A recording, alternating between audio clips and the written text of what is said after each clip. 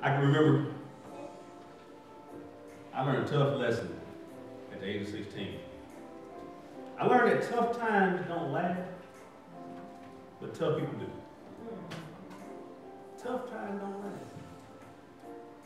I was 16. It was a cold, breezy night in October. It was a playoff game. The game to go to the state title. I was playing with Hattiesburg High, who barely made the playoffs. We were playing Meridian High School, number one play, uh, school in the state and the nation. Before the practice started that week, coach said, hey, I already know all their plays. We don't have to watch film this week, but we got to be ready, man. we worked hard that week. 15 sprints after every practice, going through all their plays. Coach told us, hey, we want to go out there. We're going to do this thing, folks. We were geeked up. We had a guy on our team before the game started. His nickname was Killer. He said, I'm going out there today and I'm going to kill somebody. think everybody going to know my name. Uh-huh. Had a running back, his name was Doug. He called himself Hard D.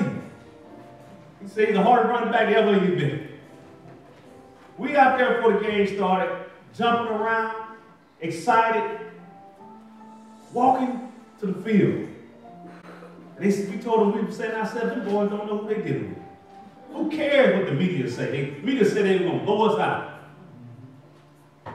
Walked out there on our way to the field.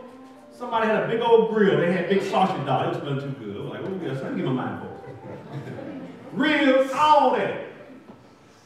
Walked past that down the field. A few seconds later, the Meridian walked out. And all that confidence we had. One of the guys said, man, he got like John. they had the state player of the year called Andre Miller. Every time he make a tackle, he'd turn around the linebacker and do this right here to the stadium. He was a bad boy. They called their defense the snap, crap, and pop. Rice Krispie defense. Because they snap, crap, and pop. So they walked out, they were big strong and fast. Like, I see why Coach didn't let us see this film. like a college team. Yeah. And we look like a big a junior high team. Then the guys took their helmet off on the national anthem. They just kept doing that. Man, this thing, they ain't scared. they had beards. I said, I know they ain't verified no birth Man, like they couldn't have verified these guys' birth certificate. What they, what they doing?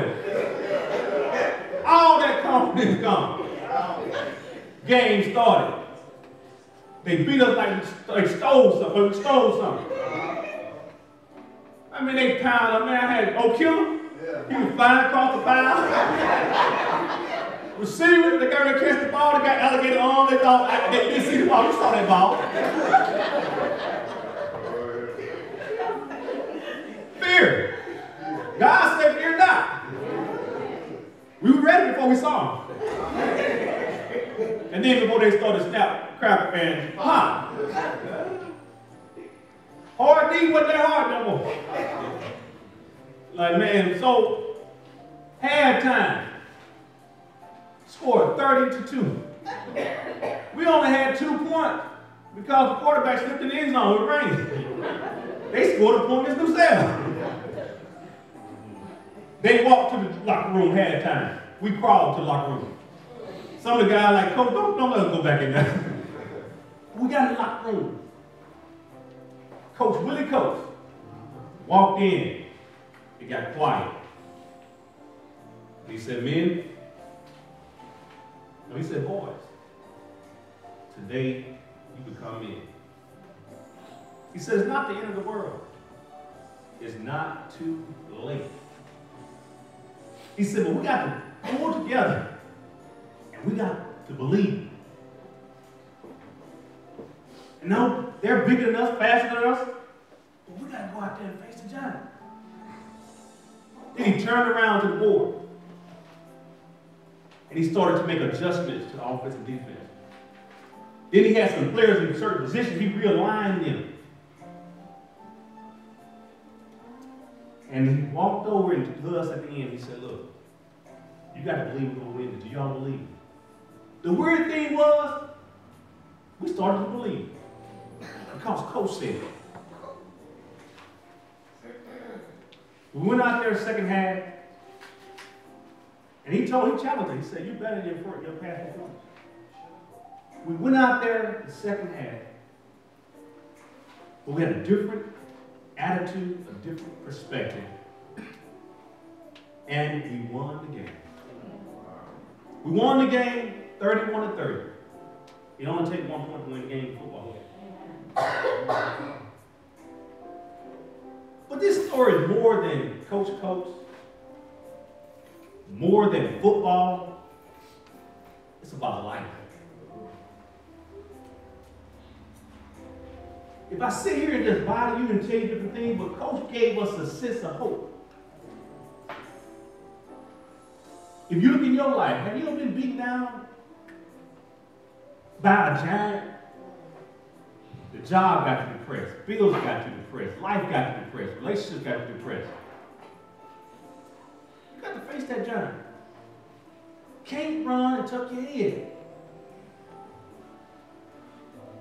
So in your life, whatever it is, make the proper adjustments, realign yourself, and face that fear. Don't be afraid. Face the giant. I just like the way Coach came into my life and made a big influence. Because I realize now that we have a bigger coach in our life. I don't know if you have a relationship with him, but we, and each one of you guys have a coach, Billy Coach, in your life. He's bigger than any earthly coach that you have. And he said to each one of us, get lined up, readjust, and he is with you. And he's telling you to go out and face your fears. So when you leave here today, just think about, hey, what am I afraid of?